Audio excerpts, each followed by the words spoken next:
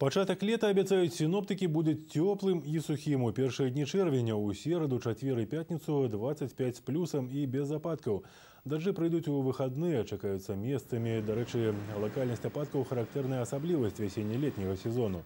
Пацверджанне таму дзень 30 мая амаль паўсюль па вобласці быў слабы і ўмераны дождж, і толькі ў Магілёве, а дакладней у Задняпроўі выпалі моцныя ападкі.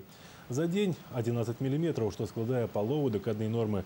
Дождж стаў перашкодай для некаторых аўтаўладальнікаў, як да прыкладу на вуліцы Сіманова. На гэтым я з вамі развітваюся, а паглядзець на наступствы стых стыхіі прапаную ў рубрыцы на ўласныя вочы. Усяго вам добрага, да пабачэння.